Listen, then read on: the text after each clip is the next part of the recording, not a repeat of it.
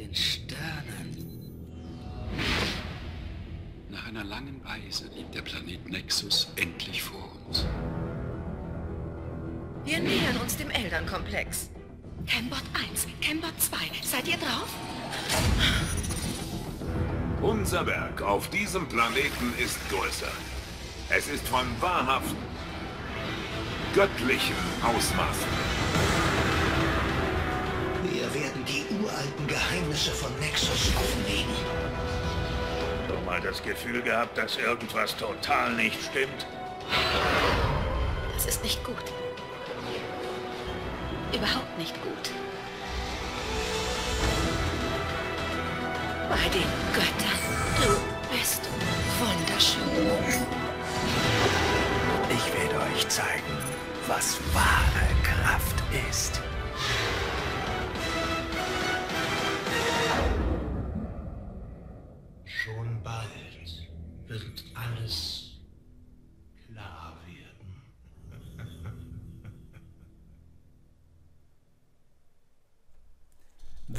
Willkommen vor den Empfangsgeräten. Ich bin Mongon Jakob von den Frakta und ich bin wieder in Wildstar, aber Wildstar heißt jetzt Wildstar Reloaded und warum tut es das? Warum macht es das nur? Weil es jetzt äh, Free-to-Play ist. Ja? Etwas, was ich will jetzt nicht sagen, ich habe es mir schon fast gedacht. Ja? Aber sagen wir es mal so, die große Ära oder die große Zeit der äh, bezahlt, sonst darfst du nicht spielen, MMOs ist, glaube ich, vorbei. Mhm. Das kann man eine Zeit lang durchhalten. Das hat das hier gemacht, das hat äh, hier Elder Scrolls Online gemacht, das hat Guild Wars 2 gemacht.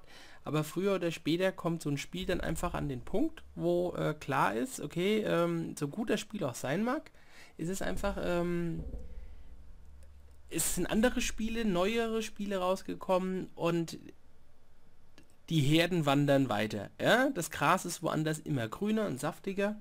Und äh, weil es das so, weil das so ist, äh, gibt es dann irgendwann Spielerschwund. Da kann zum Beispiel World of Warcraft ein Lied von singen. Ja? Ein langes und nicht sonderlich glückliches. Aber das ist nun mal einfach der Lauf der Dinge. Ein Spiel hat so seine Lebenszeit. Und wenn man mal von den, von den ja.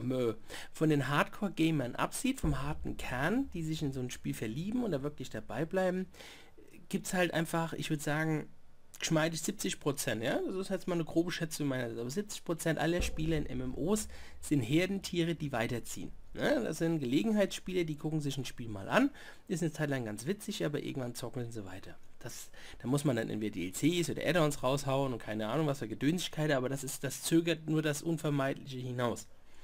Und äh, früher oder später kommen sie dann an den Punkt und müssen dann entweder Free-to-Play werden, das zieht dann wieder Gelegenheitsspieler bei, die vorher noch keine Gelegenheit hatten reinzugucken, weil sie sich gesagt haben, nö, so, es gibt so viele gute Free-to-Play-Spiele, warum zum Geier will ich bezahlen? Ja, ich, ich, ich, will das jetzt gar nicht großartig irgendwie bewerten oder so, das ist einfach nur eine objektive Betrachtung meinerseits. Ihr dürft euch da gern äh, mit mir äh, dazu äh, diskutierend, äh, ja, entweder im Frakta Games Archiv, also im Frakta Forum oder von mir aus auch auf der YouTube-Seite, das ist mir, ja. So, auf jeden Fall habe ich das in gewisser Weise kommen sehen. Das ist ein wirklich schönes Spiel, aber ich denke, ähm, nach einer gewissen Zeit äh, ist klar, dass die Spielerzahlen dann äh, auf dem Papier deutlich so sagen, ja, pass mal auf, wir brauchen mehr Leute äh, mit, mit Mikrotransaktionen, lässt sich langfristig einfach mehr Kohle verdienen oder ein stabileres Einkommen auf einem vielleicht niedrigeren Niveau als Abo, aber dafür äh, hat dadurch die Lebenszeit des Spiels hält dafür länger vor. Um, das sieht man ganz schön bei Spielen, die teilweise schon sehr, sehr lange draußen sind, aber immer noch am Laufen sind, immer noch einen relativ festen Kern von Spielern an sich binden und offensichtlich immer noch genug Geld abwerfen, dass es sich lohnt, die Surfer weiterlaufen zu lassen und von Zeit zu Zeit einen Patch zu machen. So, lange Rede, kurzer Sinn. Wir sind wieder in Wildstar. Jetzt heißt es eben Wildstar Reloaded. Alte Alien-Ziege. Und ähm, jetzt ist mein Charakter weg. Ist jetzt ein Jahr her. Da ich letztes Mal hier war, jetzt ist der Charakter weg. Ja, ist so. Ne? Ist ja kein großes Gedöns. Ähm, ich hätte jetzt natürlich, ich habe, also was heißt ich hätte das, ich habe es tatsächlich überlegt, zu sagen, okay, ich mache so einen Charakter wieder, wie ich dahin gemacht hatte. Ich laufe einfach bis zu der Stelle, wo ich war und dann zack, Video rein und dann, ja, machen wir da weiter. Aber ich denke, ähm, also das ist noch nicht vom Tisch, ja? aber ich habe mir gedacht, ich will wenigstens den Anfang aufnehmen, weil ich, äh, wie ich gerade eben nämlich neue Charakter stellen gedrückt habe, pass auf. Warte, ja, hm, machen wir mal so. Ich finde es nämlich persönlich sehr schön mit der Arsche am Anfang. Ja. Das hier ist anders. Also ich habe ich hab mich nicht daran erinnert. Ja? Sorry, ich habe ein sehr gutes Gedächtnis, sonst hätte ich nicht das studieren können, was ich studiert habe.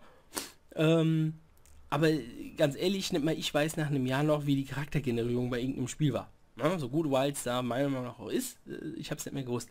Also habe ich gerade eben mein eigenes Video angeguckt.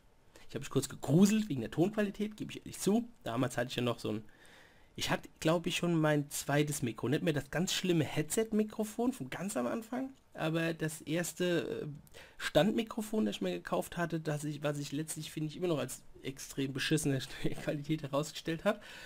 Ähm, wie auch immer, auf jeden Fall war, wenn ich das richtig sehe, da die Charakterentwicklung anders und ich glaube, es gab auch weniger Völker, oder? Weiß ich immer genau. Das weiß ich immer genau. Ich weiß bloß, dass die anders aussah. Das waren irgendwie nur so, so kleine Bilder und noch nicht, und nicht so animiertes äh, Völkchen.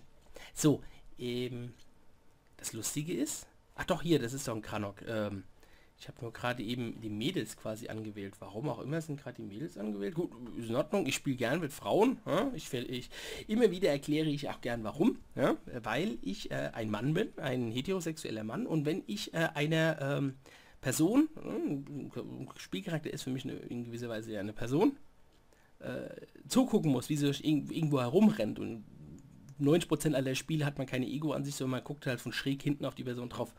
Wenn ich das also mache, stundenlang eine Figur zugucken, wie sie herumrennt, dann soll das wenigstens eine hübsche Figur sein, also die mich ästhetisch anspricht. Ja, und es gibt auch attraktive Männer, da wir nicht zu diskutieren. Ist aber trotzdem für mich so ein Punkt, wo ich sage, ich gucke lieber hübsch Frau zu, wie sie irgendwas macht. So.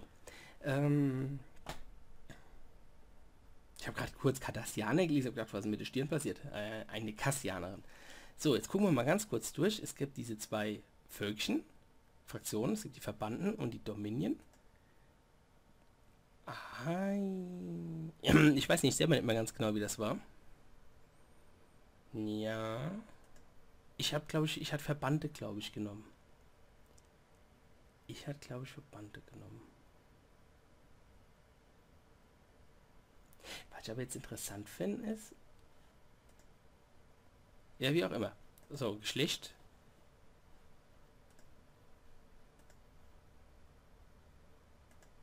Sieht schon ulkig aus irgendwie.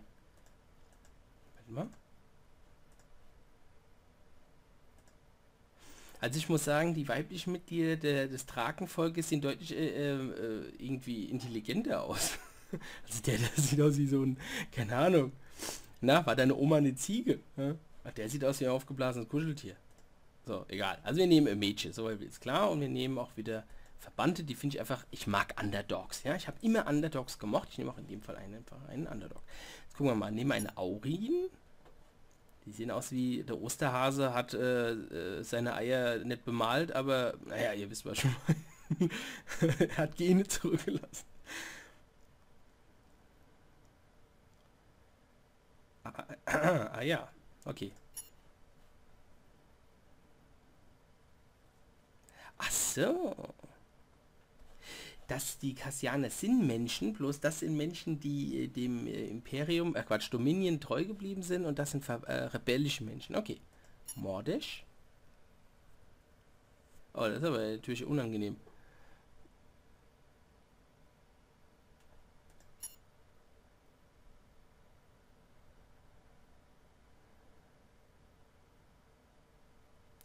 Den fand ich schon sau cool den, den Typ, den Kranok-Mann, den hatte ich das letzte Mal genommen, das weiß ich noch. Ich hatte so, so, so einen Steingolem, so im Stil von Terry Pratchett genommen. Das fand ich schon sehr cool.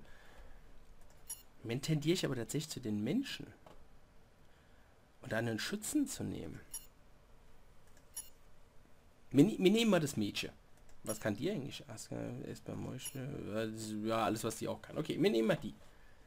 Ist vielleicht ein bisschen langweilig, gebe ich ehrlich zu, aber wollte ich kurz äh, wir, krieg, wir kriegen die mal an. Die tragen sein Volk von Jägern. Mhm. Aha, sehr cool. Kriegervolk. Soziopathisch. ähm. Sehr geil.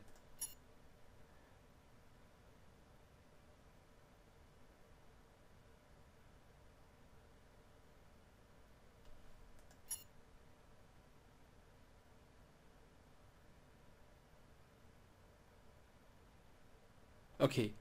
Ja, nee, ich habe schon recht beim die nehmen. Ja, wer, wer soziopathische Kuscheltiere äh, für... Nee, das ist schon not so. So. Klasse. So, wir haben Tech-Pionier.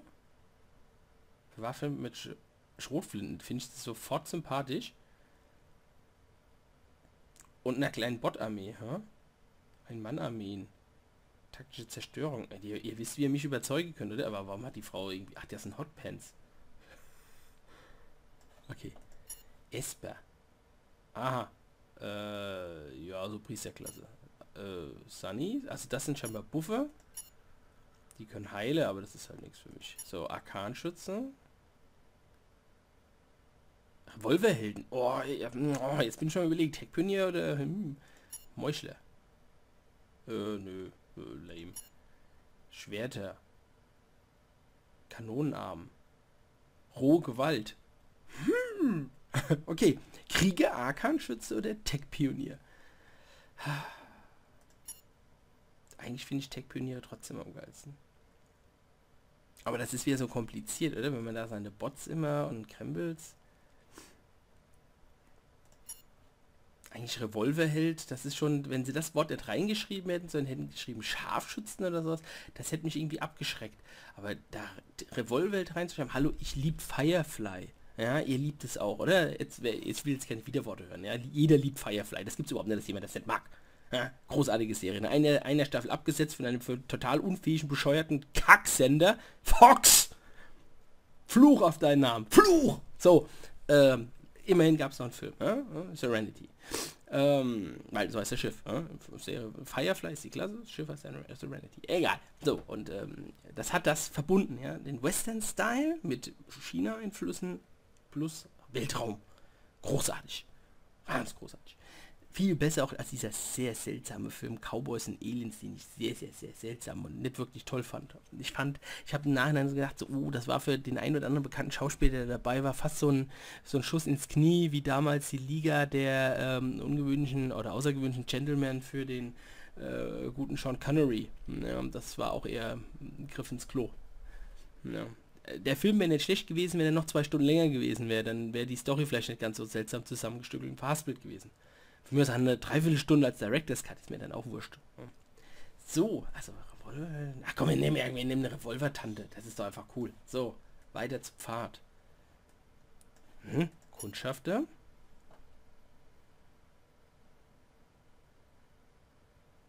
Äh, naja, lass mal stecken. Wissenschaftler. Ein wissenschaftlicher Revolverheld finde ich großartige Vorstellung. Aha, Siedler.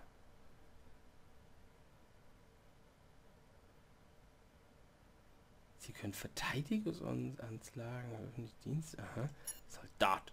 Bekämpfen Feinde, sie möchte Gegner töten, neue Waffensysteme testen, neue Gebiete erschließen, ob sie Verbündete.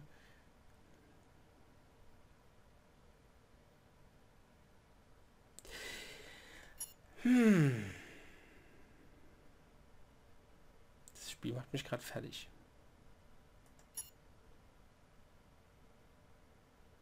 Ja, wir nehmen Soldat. Komm, ich, ich, bin ein, ich bin einfacher Mensch, einfache Freuden erfreuen mich, ja.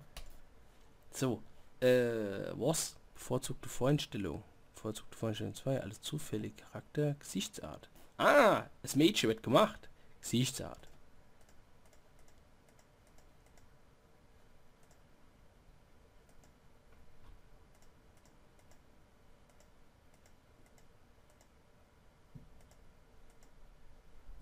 Ich finde die so am sympathischsten. Die sieht nicht dümmlich aus, aber nicht heimtückisch.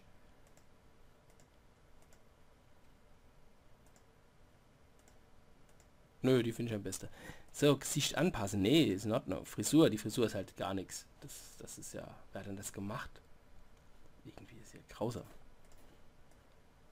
Ah, sexy. Einfach schöne, glatte... Äh, nicht glatt, aber so schön, lang. Hm? Ja. Aha. Boah. Da kann man ja nichts sehen, wie will man was treffen. Ist ja genauso schlimm. Das sieht man ja überhaupt nichts. Wie will man Gegner treffen? Sorry, das sieht nach Pornodarstellerin aus. Jetzt nichts gegen Pornodarstellerinnen, aber... Alter, was ist das denn? Da fehlt ja nur eine Kaugummiblase. Die arbeitet bestimmt im Diner vorher. Alter!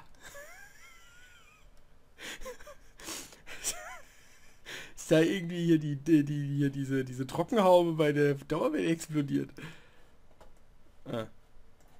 Okay. Wir machen das ganz einfach. Äh? Einfach ist manchmal das Beste. Haarfarbe. Ja, das sieht ganz gut. Augenfarbe ist eigentlich ganz okay. Lila. Also so, so purpur.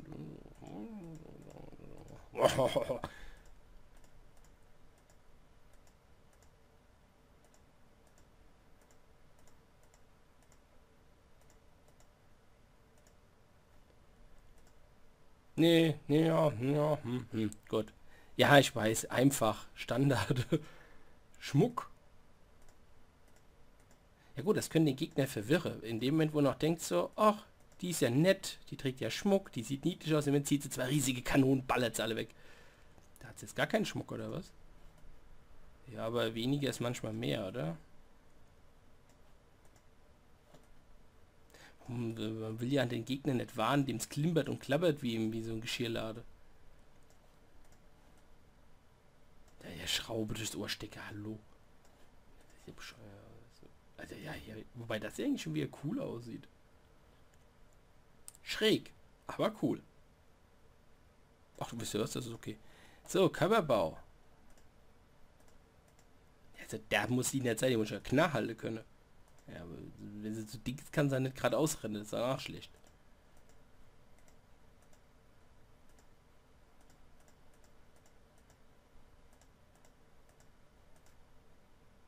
Hm. Ja. ja, nee, ist okay, oder?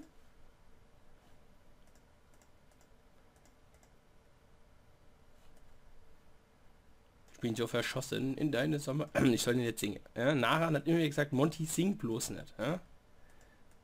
Hat er recht, ich kann nicht singen. Ich mache das auch besser. Ja, das passt aber besser zu der Haut äh, Dings. Gut, alles klar, weiter. Vorname. Wir nennen sie Miete, weil großartige Tradition, die es mittlerweile gegeben hat. Miete in... Ach, scheiße. So, in Fragda. Spiel betreten. Prächtig. Die Verbannten wurden vom Dominion von ihren Planeten vertrieben. Seither suchten sie verzweifelt nach einer neuen Heimatwelt. Immer auf der Flucht vor dem Dominion, das ihnen erbarmungslos auf den Fersen blieb. Und dann, in der Stunde ihrer größten Not, entdeckten sie den Planeten Nexus legendäre Heimatwelt der vor langer Zeit aus der Galaxis entschwundenen Eldan. Erschöpft, aber voller neuer Hoffnung, machten die Verbannten ihre veralteten Sternenschiffe klar für eine letzte Reise nach Nexus. Und das ist der Moment, an dem ihr wahres Abenteuer beginnt. Bin ich eigentlich der Einzige, der die ganze Zeit an den Schatzplanet denken muss?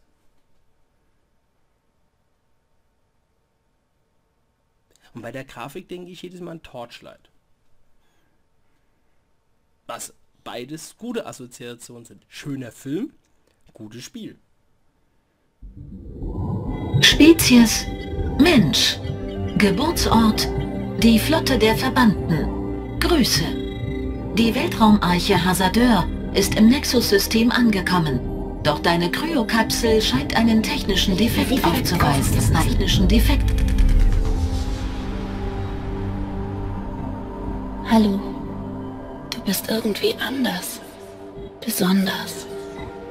Aber ich brauche deine Hilfe. Nexus birgt viele Geheimnisse. Und wenn die Zeit gekommen ist, werde ich sie dir zeigen. Hm, dieser Fehler war ungewöhnlich.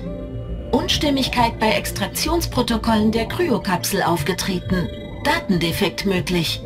Dein langer Flug scheint jedoch vorbei, Verbannte. Willkommen im neuen Zuhause.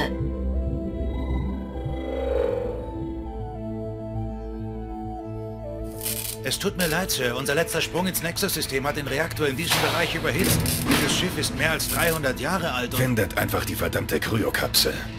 Sie muss hier irgendwo sein. Sadie. Sadie Bradland. Ich kenne den Namen, Mr. Bradland. Nenn mich einfach das Auge. Jetzt hör auf zu nörgeln. Und hol meine Frau aus dem Kälteschlaf. Interne Sensoren sind ausgefallen. Die Datensätze sind unzuverlässig. Da, ich habe sie gefunden. Eine funktionierende Kapsel. Bergungssysteme angestartet. Magnethalterungen gelöst. Gut für dich, du hast sie gefunden. Sadie, Schatz. Auf dem hey! Hey, pass auf! Tut mir leid. Die Hydraulik ist undicht. Moment. Die Datensätze waren falsch. Das ist sie nicht. Sie ist in einem anderen Silo. Na gut. Wen auch immer du da gerade aufgeweckt hast, er wird uns helfen, sie zu finden.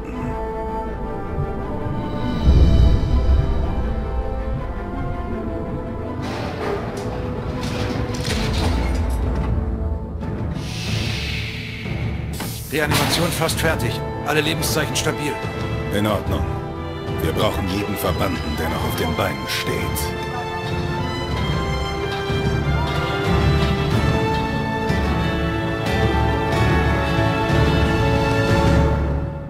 Ich finde das ein wirklich großartiger Anfang. So. Das Schmango-Gemätsche. Ja, hallo. Prächtig ist das. Das guckt man sich doch gerne an, während man spielt. So, wer bist du? Ich bitte nicht gern um Hilfe, aber ich habe verdammt nochmal keine Wahl. Ich gebe dir Deckung. Erledige das. So, aber jetzt kommen wir an den anderen Punkt, ähm, wo ich mir nicht ganz sicher bin. Weiterspielen, alles mit aufnehmen, jetzt auch den Anfang nochmal. Oder falls sich das nicht geändert haben sollte, der Anfang der Arche, werde ich die Arche durchspielen ohne euch, weil ich das ja schon mal gemacht habe. Und ich gehe dann einfach an den Punkt, wo ich das letzte Mal war und setze da wieder ein, also da, wo man eigentlich davor ist, auf den Planet runter zu gehen. Ähm, das werde ich mir jetzt anschauen. Aber, wie gesagt, das ist jetzt der Neuanfang. Ja, passend irgendwie zu Wildstar ja, Reloaded. Wir sehen uns hier wieder. So oder so. Ich wünsche euch was. Macht es gut. Bis bald. Tschö.